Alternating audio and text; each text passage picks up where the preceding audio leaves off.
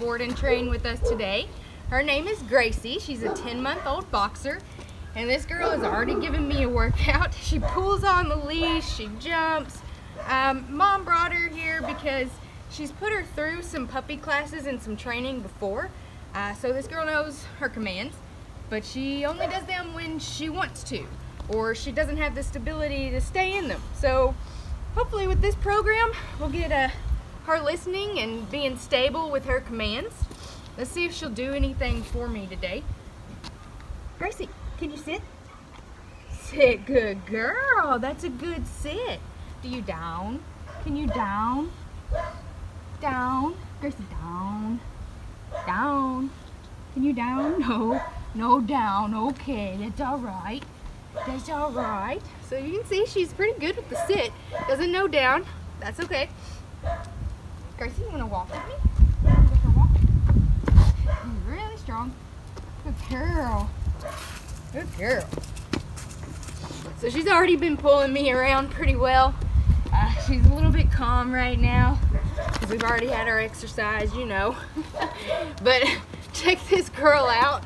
15 days for her awesome transformation. You can also check us out on www.bulletproofdogtraininglouisville.com. I'm running out of time, every day goes by so fast. And every moment counts, baby, I don't wanna miss a thing. We can sleep under the stars, we can sleep under the stars, or hang out in hotel bars, driving somewhere in your car. We can sleep under the stars, we can sleep under the stars, under the stars.